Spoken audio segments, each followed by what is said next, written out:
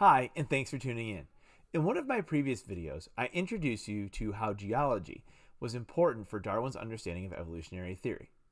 In this video, I'm going to talk more about geology, introduce you to some of the key concepts of and geologic principles, and talk about how through geologic techniques we can perform both relative and absolute dating so that we not only know the date order of the fossils we find, but also the approximate age of those fossils. So stay tuned while we talk about rocks and clocks.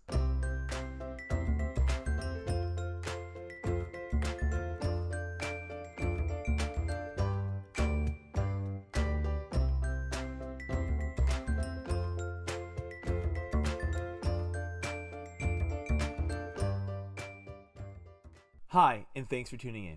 In my previous video on evolutionary ideas, I talked about how modern geologic thinking profoundly influenced Charles Darwin's understanding of evolution and greatly influenced his, his theory of evolution. This stemmed from the work of Charles Lyell. But let's back up a little bit, talk about James Hutton.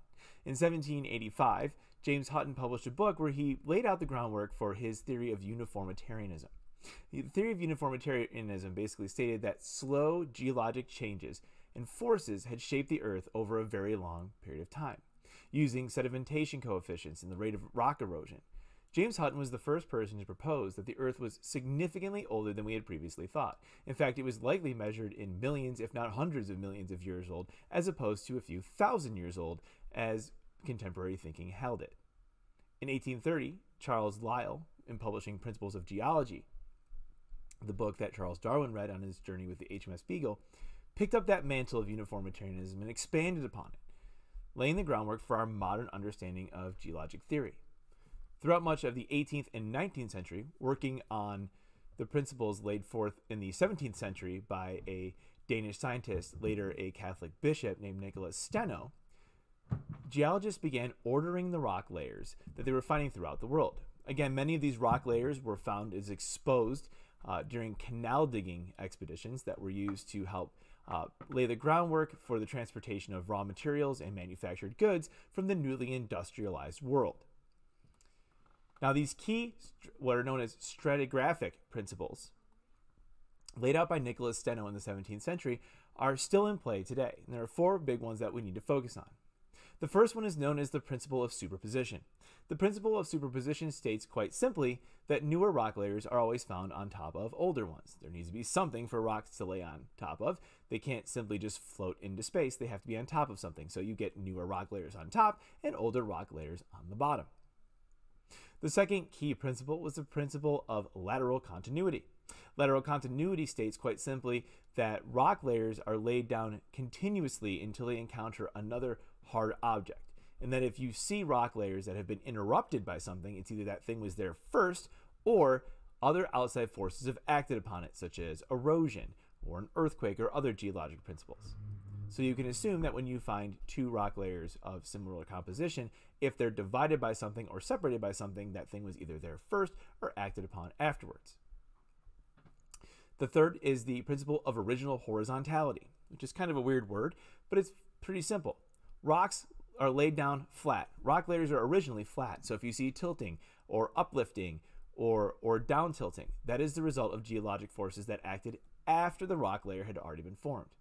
And the fourth one is called cross-cutting relationships. Cross-cutting occurs when certain rock layers uh, interrupt or proceed through other existing rock layers. The cross-cutting relationship simply states that the layer that is doing the cross-cutting must be younger than the rocks it cuts across. You can't cut across nothing. Those rocks had to be there in the first place. So if you see a layer that intrudes upon another layer or several other layers by cross-cutting them, that cross-cutting layer must be younger or more recent than the layers it's cutting across. Now, using Steno's principles, geologists in the 18th and 19th century and continuing hours into the 20th century, began ordering rock layers all around the world. And what was nice is based on these principles, they were actually able to discover that there were many similar rock layers on separate continents um, and spread across wide areas, uh, wide areas of the Earth. One of the things that aided them in comparing those rock layers and deciding which ones were part of the same original rock layer and which ones were part of different rock layers was they were finding these things called fossils. So these fossils are just rocks that were shaped like organisms, plants, animals, etc. Now, there was a pretty good debate uh, about what these fossils represented. Some people were in the camp that these fossil remains were actually the remains of living organisms, while others contended the fact that, well, these fossils don't look anything like modern animals, or they bear a passing resemblance to certain species that are still alive, but they clearly don't look like anything that's alive today. And they argue that these fossils were actually the remains of now extinct organisms. That debate, of course, would be settled later on uh, as we begin to understand more about evolutionary theory. The bottom line is this, though. What they began finding is there was a high level of internal consistency with respect to what they refer to as index fossils. And what that meant is if you were looking at a rock layer and you found certain fossils, you could be fairly certain that this particular rock layer was part of this particular strata, whether it was found in England or Russia or Italy or, uh, or in, in a part of Asia or North America, for example. It was these index fossils that actually allowed them to do this sort of comparison to make sure that they were talking about rocks from the same type, from the same time period. And what they began to do is they began naming these rock strata or rock layers uh, so that they could be identified by scientists throughout the world. And quite often they were naming them based on the place where they were found. So, for example, uh, if we talk about uh, the Cambrian strata, well, Cambrian comes from the Latin word Cambria, which is the Latin word for Wales. And since the Cambrian rock layers were best exposed in Wales, that part of Britain, it got the name the Cambrian strata. And we'll soon, find out that it's called the Cambrian period. If we look at the Permian strata, this gets the name from uh, the Perm region of Russia, where this ro these rock layers were originally first discovered. If we talk again about the Ediacaran strata. The Ediacarans are named after the Ediacara Hills that are in southern Australia. So you can see that scientists began naming these rock layers, and this allowed them to sort of be able to uh, identify these layers, whether they were found on Australia or whether they were found in Europe or, or South America or North America, wherever they were being discovered. Using index fossils and the concepts of lateral continuity and the concept of of superposition, they began to order the rock layers, and they were what they were doing was establishing um, sort of how rocks were laid down throughout the world over geologic time. Now, this particular type of dating is known as relative dating. When you talk about relative dating, what they're actually doing is sort of ordering things in the events that they took place. This rock layer must be older than this rock layer, and this rock layer is on top of this one, so it must be younger than the one that it sits on top. And while this is a great technique because it does allow you to say, hey, you know, this is older than that and this is younger than that, it doesn't actually tell you exactly how old those things are. And we wouldn't be able to do that until we establish absolute dating techniques, which didn't come about until the 20th century. But before we have that conversation, let's talk about the different types of rocks that we'll be encountering. There are two major types of rocks that we need to focus on in this conversation, and a third one that I'll just mention because I do get questions about it at times. The first type of rock is sedimentary rock. Sedimentary rock is that which is formed by the deposition of sediments from water. So typically, sedimentary rock is the result of where water once existed, sediments began to silt down to the bottom. So you're thinking like a creek bed or a seafloor, things like that. Sedimentary rock is very important to uh, to evolutionary biologists because it's in sedimentary rock that we're going to find the fossils that we wish to study and we, we wish to use to analyze um, evolutionary history. Another type of rock that we're going to encounter is igneous rock. Igneous rock is the type that comes from the uh, center of the earth. So that's the result of either la lava or magma cooling and, and forming a rock layer. Now, when we talk about igneous rock, igneous rock is not the type of rock that we're going to find fossils in. You can't fossilize yourself if you fall into a volcano. You just get carbonized and that's the end of it. However, igneous rock quite often contains crystals that can be used for absolute dating. These crystals contain radioactive isotopes that are found in the liquid mantle of the Earth that were that became located there during the formation of the Earth due to the vast heat and the pressure that existed. Over time, these radioactive uh, these radioisotopes have actually begun to decay in the, in, in the Earth's core, and they're actually a, a tremendous source of heat uh, for the uh, overwhelmingly hot uh, liquid mantle from which magma and, and lava come from. But when these rocks begin to form on the surface as a result of volcanic activity, for example, these radioisotopes actually get trapped inside of the igneous rock in these little structures called crystals. And it's these crystals that can be isolated and used for absolute dating. We'll talk more about that in a minute. So while igneous rock is very important for for uh, doing for doing uh, absolute dating techniques for uh, telling how old a rock layer is, we're not going to find fossils. And on the other hand, we have sedimentary rock where we find fossils, but we're not going to find these crystals.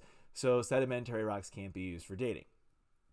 It seems like an unhappy relationship there, but we'll talk in just a second why it actually works out.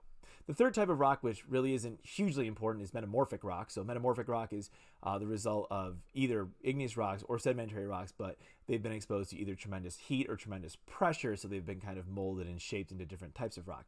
Not hugely important for this. I get questions about it, which is why I wanted to mention it in this video.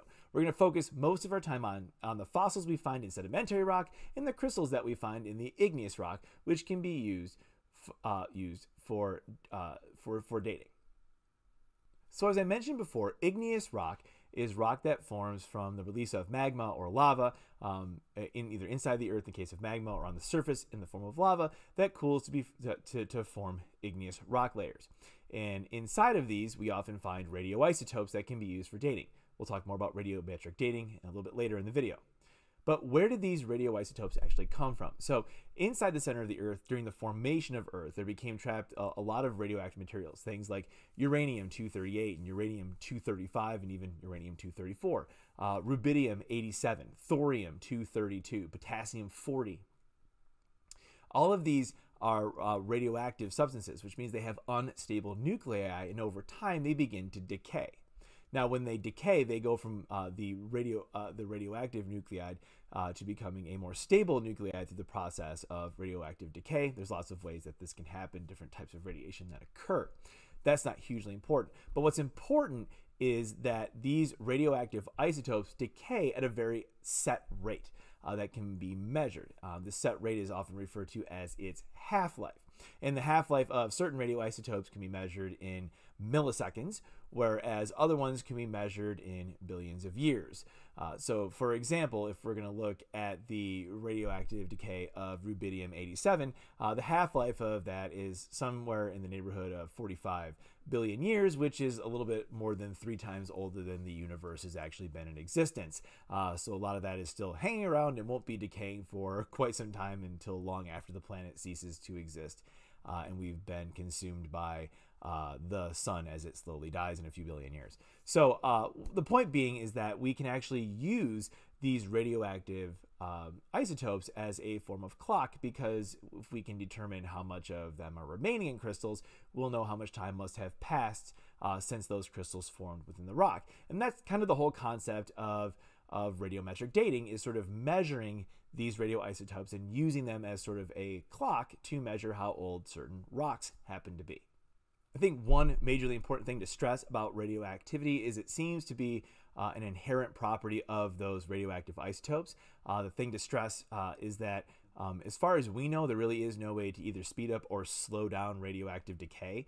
Um, so it doesn't really matter how hot things are, or how cold they get, or uh, how wet they are, what they're exposed to. It seems that uh, the half life of a radioisotope is actually um, sort of a fixed thing uh, that is uninfluenced by other sources, which makes them an excellent way of dating materials because we can very easily calculate um, how long it's been since that particular radioisotope has been in existence as long as we know the ratio of the radioisotope to its daughter decay nuclide. So why am I telling you all this about radioactivity? Well, let's go back in time. Let's go back into the 19th century and talk about how uh, a lot of geology is being done and a, ro- a lot of rock layers are being ordered. So, what's neat about how all this is happening is that uh, throughout the world, um, rock layers are, are, are being identified. They're being assessed with the use of index fossils um, to sort of say, okay, this particular rock layer belongs to uh, Permian strata, whereas this particular rock layer is Triassic strata, and this is uh, Cretaceous rock strata, and so on and so forth. And what's really interesting is we can use a lot of, we're using all of, of Steno's uh, stratigraphic principles uh, when we do this because you know you may find for example that there's a rock layer missing in england when you compare it to europe and you can say well you know here's uh, rock layer a um, in england and on the mainland europe and here's rock layer c uh, in Europe and in, in England, but rock layer B, which we find only in Europe, is missing in England. Well, that doesn't mean that, that England didn't exist for that period of time. It just means that there was no sedimentation that was occurring, for example. But we can begin to sort of uh, place those there by realizing that using the principle of superposition, that A and C must be A must be relatively older than C, and since B um, is below C but above A, then we know that rock layer B then is um, is older than A but young. I'm sorry, uh, younger than A but older than C. And that's kind of how you build these vast geologic maps of the planet Earth, and we sort of do relative dating. But the question still remained well into uh, to, well through the 19th century and into the 20th century of how old are these rocks? How old are they really? It didn't really get to the point of knowing the age of the Earth, which range there were estimates during that time that ranged from hundreds of thousands of years to some saying that the earth may have been two or three billion years old. And, and those people were treated like crazy radicals uh, that would think the earth could possibly be that old. We soon find out that the earth is actually even older than that and they weren't that crazy to begin with. Um, once we establish some of these absolute dating techniques. So, absolute dating techniques were really first pioneered in 1907 by Bertram Boltwood, who did the first real pioneering experiment in this field.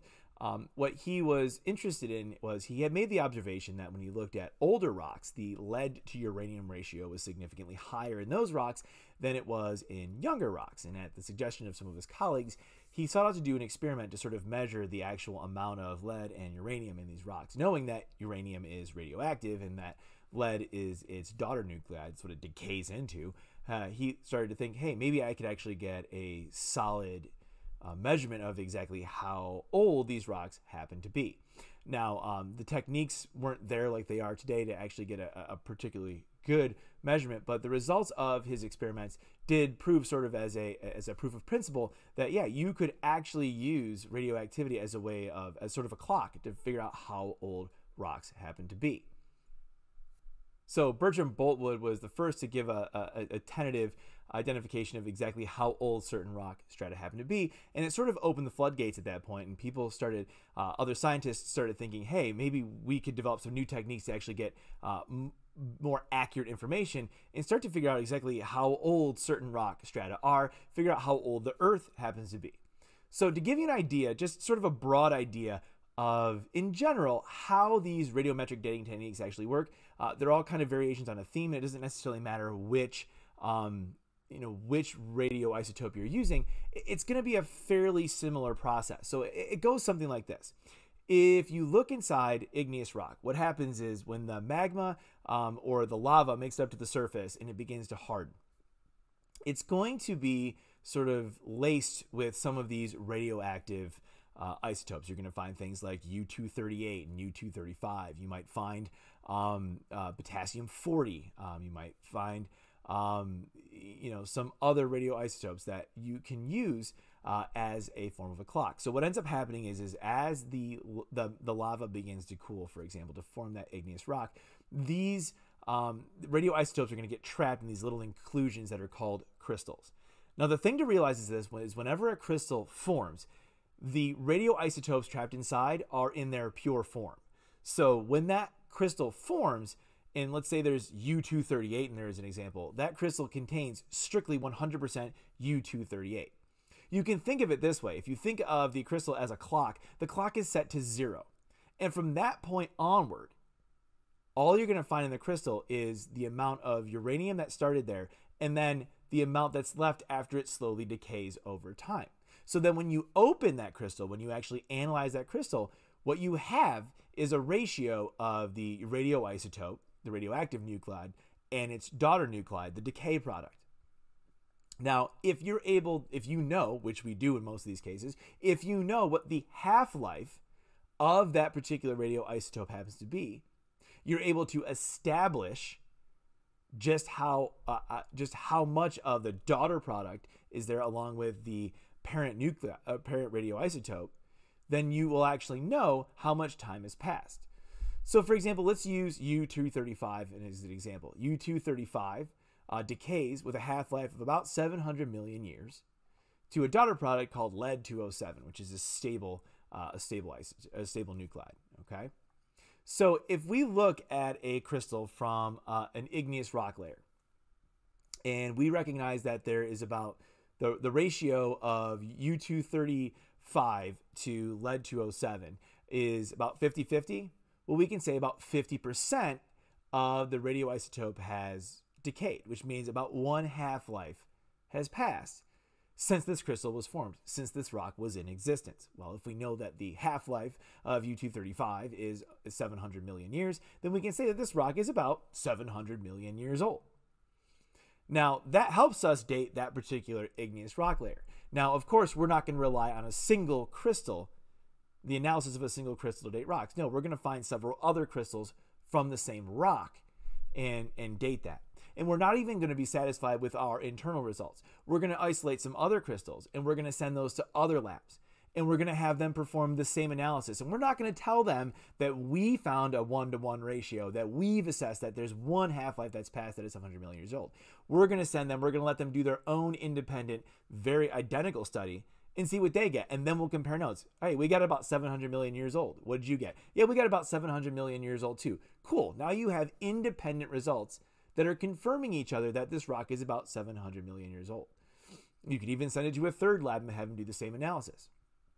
Even better, maybe you can find other crystals within that rock that don't contain U235. Maybe you could do the same analysis with uranium 238 or potassium 40, which have entirely different half lives. And if you find out that the ratio of potassium 40 to argon 40, which is known as the potassium clock, um, if you find out that that ratio also gives you a half life, or means that there's a certain number of half lives that has passed, and that rock, according to the potassium data, is also 700 million years old. And that other lab that you shared crystals with does the same analysis on potassium 40 and says, yep, the potassium data agrees wholeheartedly with the uranium data. The rock's about 700 million years old. You can be pretty darn confident then that that igneous rock that you're looking at is about 700 million years old. But how does that help us as evolutionary biologists? How is that going to help?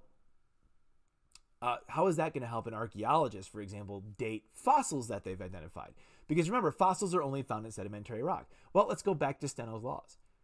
Remember, if we talk about principles of superposition, if you find an igneous rock layer in between two sedimentary rock layers, and you date, in our example, for example, that igneous rock layer to be about 700 million years old, well, then the rock layer directly below it must be at least 700 million years old. And the rock layer above it must be somewhat younger than 700 million years old. Now, those are pretty broad, right? Older than 700 million years, younger than 700 million years. Cool. But what if you have dozens of different layers of igneous rock intruding on different strata that you've already organized. So you get igneous rock layers from North America and Europe and Asia and compare them, uh, compare their ages, their known ages, and then overlay that with the relative dating techniques you've used to do the stratigraphy to analyze and say, okay, well, we know that you know this rock layer intrudes on Devonian rock, and this in this particular igneous rock layer intrudes on um, Permian rock. Now you can start to actually sort of triangulate that data and say, well, we know that you know we know that this particular rock layer is um, you know 450 million years old and we know that there's devonian rock on top of that so the devonian rock must be no older than 450 million years old but we also have this other igneous rock layer from over in europe that dates to 350 million years old and we find devonian rock below this particular uh, below this particular igneous rock layer, well, that means that the Devonian must have, must have occurred some point between 450 and 350 million years ago. In this way, we can actually take absolute dating techniques, overlay them with the relative dating techniques used to order the rock strata over the past two, uh, two centuries or so, and we can actually begin within a few million years or even a few hundred thousand years in some cases to actually date exactly how old many of these major rock strata are. And it's this really cool technique that's actually led us to be able to determine, you know, for example, that fossils from the Devonian must be about this old, whereas fossils from the Permian must be about this old, and the Cretaceous happened this long ago, and the mass extinction event that, you know, separates the, you know, the Cretaceous period from uh, the more modern era is uh, is is this this old. So it's these types of events that have really transformed the way we understand geology, as well as understanding how long ago some of these fossilized species actually existed. So it's this really cool geologic. These it's the application of uh, hundreds of years of geologic work plus some modern techniques with radioactivity that have really allowed us to understand exactly how old rock are, but also understand how old the planet Earth is. So how do we know, for example, that the planet Earth is about 4.54 billion years old? Well, it wasn't. The thing I need you to understand is this: it's not just some. It's not just one guy who grabbed a rock and was like, "Yeah, the Earth is 4.5 billion years old." It didn't work that way. What we did, or what I, I didn't do this, but what was done was the oldest rocks on Earth, the bottommost rock layers that we can find, the deepest depths of Earth. Well, they also contain. There's also igneous rock down there way down at the bottom, towards the bottom of the uh, of the crust, as far deep as we can get down, and we can grab those rocks and we can have different labs analyze different radioisotopes inside of them. And using this particular technique, we actually can have multiple labs perform multiple analyses.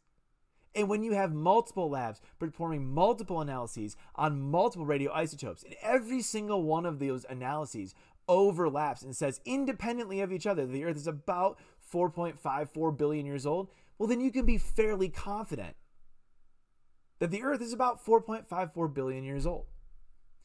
And I know that's a hard concept to grasp. And there are some people uh, that come up with alternate explanations. And there's the concept of the young Earth that's out there. But I have to be abundantly clear with you there's no way that the Earth could be thousands of years old.